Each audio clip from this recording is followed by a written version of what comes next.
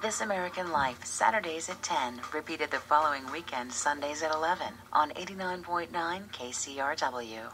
Once again, my name is Dan Wilcox. Going to be with you till 3 o'clock in the morning, so really just getting this program started here. If there is anything that you would like to hear on the show tonight, any requests or comments, that type of stuff, feel free to give a shout at 310-450-5183 or you can as always shoot me an email at dan.wilcox at kcrw.com and this next song that i'm going to play is a dedication of sorts going out to a couple of cats i know.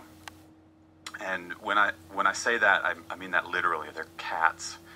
It's princess wonder cat and the internet. That's the other cat's name they were wed in a, a small ceremony in Silver Lake this afternoon.